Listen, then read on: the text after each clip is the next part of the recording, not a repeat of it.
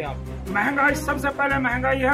हमारे ऊपर महँगाई का इतना ज़ोर पा दिया इतना कमर तोड़ दी बिल्कुल लोगों की। और महँगाई के ऊपर हम हम पूर्णतः भाजपा की खिलाफत करते हैं। महँगाई इतनी बढ़ी जा रही है क्योंकि बच्चे खेल कूद के भी और पढ़ाई करके भी ऐसे ही बैठे हैं कोई रोज़गार नहीं मिल रहा है।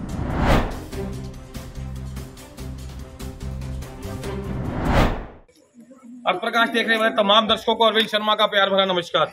दोस्तों, जैसा कि लोकसभा चुनाव चल रहा है, आपको पता है धर्म क्षेत्र, कुरुक्षेत्र, जो रणभूमि में तब्दील हो चुका है। आज हम मौजूद हैं गाँव मिर्जापुर में और हम धरातल पर हमारे बीच मातृशक्ति मौजूद है, हमारे बीच हमारे भाई मौजूद हैं, अंकल जी मौजूद हैं।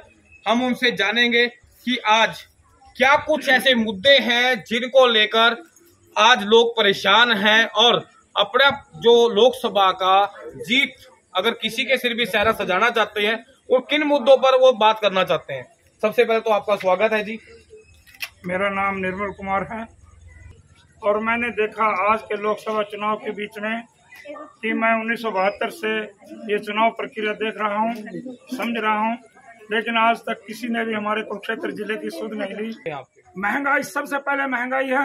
हमारे ऊपर महँगाई का इतना ज़ोर पा दिया इतना कमर तोड़ दी बिल्कुल लोगों की। और महँगाई के ऊपर हम हम पूर्णतः भाजपा की खिलाफत करते हैं। गुड़िया इस बार क्या कुछ ऐसे मुद्दे हैं क्या कुछ ऐसी बातें हैं जिनको आप महसूस करते हैं? एजुकेशन पॉलिसी में बोले जाए तो जो सरकारी स्कूल है उनके बच्चे भी आगे बढ़ने चाहिए और महँगाई को लेके जितनी भी महँगाई है वो नॉर्मल होने चाहिए कि सब कोई सब कुछ कर सकता है। आप बताइए। बस याद जोड़ के यही अपील है कि भाई महँगाई कम होनी चाहिए। महँगाई को लेकर बातचीत है। हमारे बीच और भी महिलाएँ मौजूद हैं। बताइए। महँगाई को लेकर बहुत ही परेशान है। हमारे तीन तीन बच्चे हैं खेलने कूदने वाले सारे बच्चे हैं। जो देखा जाए कि महँगाई इतनी बढ़ी जा रही है, क्योंकि बच्चे खेल कूद के भी और पढ़ाई करके भी ऐसे ही बैठे हैं, कोई रोज़गार नहीं मिल रहा है बिना उससे भी। मेरे बच्चे इंटरनेशनल खिलाड़ी हैं, उसको फिर भी तक रोज़गार नहीं मिल रहा है। तो इनसे महँगाई के जो मुद्दे हैं उनको लेकर जो मातृशक्ति है वो परेशान है।